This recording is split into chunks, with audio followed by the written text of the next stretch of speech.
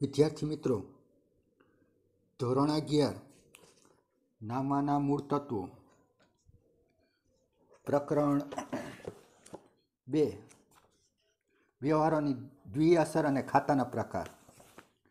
એની અંદર આજે આપણે નવો મુદ્દો શીખશું, ખાતાના પ્રકારો ટાઈપ્સ ઓફ એકાઉન્ટ્સ હવે ખાતું એટલે શું? તે અંગેની માહિતી પ્રકરણ એકમાં પારિભાષિક શબ્દો હેઠળ મેળવી છે. ખાતામાં વ્યક્તિનું ખાતું હોય, માલ મિલકતનું ખાતું હોય, માલનું ખાતું હોય, મિલકતનું ખાતું હોય, ઉપજનું ખાતું હોય, ખર્ચનું ખાતું હોય વગેરે સમાવેશ કરવામાં છે. દ્વિનોંધી હિસાબી પદ્ધતિમાં આ તમામ પ્રકારના ખાતાઓ અંગેના નિયમો છે. આ નિયમોના આધારે હિસાબો લખવામાં આવે છે. આ ખાતાના નિયમોના કારણે જ હિસાબી પદ્ધતિને સામાજ, સામાજિક વિજ્ઞાન તરીકે ઓળખવામાં આવે છે. હિસાબી પદ્ધતિને સામાજિક વિજ્ઞાન તરીકે ઓળખવામાં આવે છે. આ અગત્યનો આપણો વિકલ્પ પણ છે. ખાતાના નિયમો, ખાતાના પ્રકારોના આધારે રચવામાં આવેલા છે. ખાતાઓનું વર્ગીકરણ અને તેના નિયમો અંગેની માહિતી હવે આપણે મેળવીએ. ખાતાઓનું વર્ગીકરણ.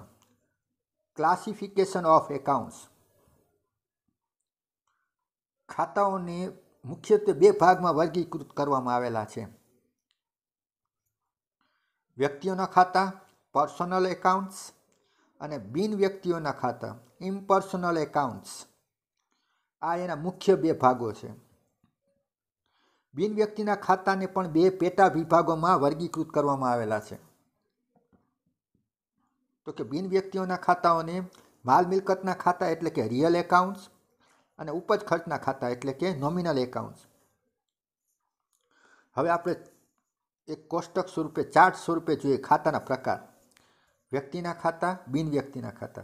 બિન વ્યક્તિના ખાતાઓમાં માલ મિલકતના ખાતા અને ઉપજ ખર્ચના ખાતા. હવે વિદ્યાર્થી મિત્રો, ખાતાઓના પ્રકાર વિશે વ્યક્તિ, ખાતાઓના પ્રકાર વિશે વિગતવાર માહિતી મેળવીએ. પેલું છે વ્યક્તિના ખાતા, પર્સનલ એકાઉન્ટ. ધંધામાં જ્યારે ઉધાર એટલે કે શાક પર વ્યવહારો કરવામાં આવે, ત્યારે સામો પક્ષકાર વ્યક્તિ હોય છે. આ વ્યક્તિ એ કુદરતી કે કાયદેસરની કૃત્રિમ વ્યક્તિ હોઈ શકે.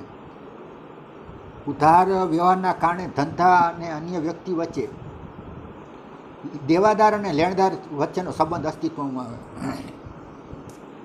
જ્યારે વ્યવહાર છે શાકનો હોય, ત્યારે દેવાદાર અને લેણદાર વચ્ચેનો સંબંધ ઊભો થાય. કુદરતી વ્યક્તિમાં જીવંત વ્યક્તિઓનો સમાવેશ કરવામાં આવે છે.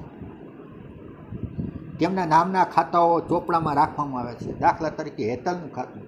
હેતલ એ કુદરતી વ્યક્તિ છે. ધર્મેન્દ્રનું ખાતું. રમણનું ખાતું. આ બધા કુદરતી વ્યક્તિ છે.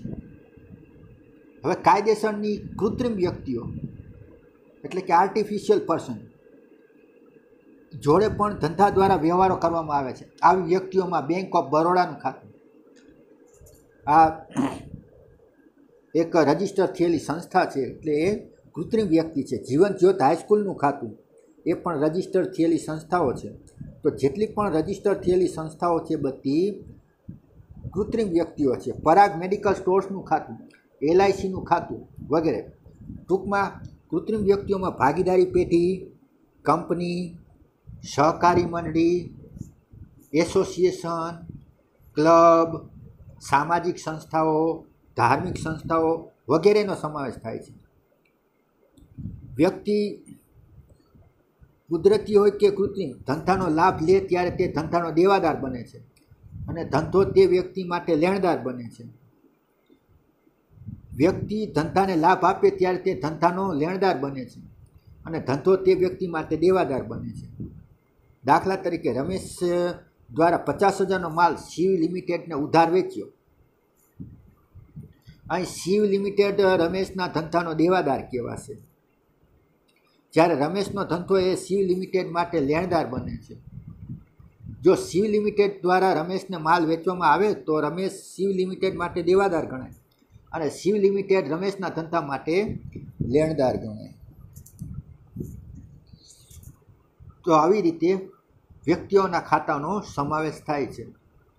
એમાં ભાગીદારી પેઢી તો બે કે તેથી વધુ વ્યક્તિઓ ભેગી થઈને જે ધંધો ચલાવતા હોય તો એને ભાગીદારી પેઢી કહેવાય.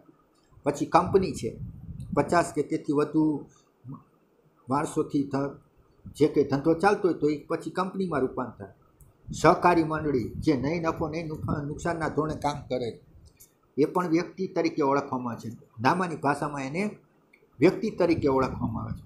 એટલે કોઈ પણ સ્કૂલનું નામ લઈએ, દાખલા તરીકે મુસ્લિમ એજ્યુકેશન હાઈસ્કૂલ કોઈ પણ કોલેજનું નામ લઈએ, જેવી Thakkar commerce college, Lalan college, એવી જ રીતે યુનિવર્સિટીનું નામ લઈએ, કચ્છ યુનિવર્સિટી, શ્યામજી કૃષ્ણ વર્મા યુનિવર્સિટી, પછી Gujarat university south Gujarat university.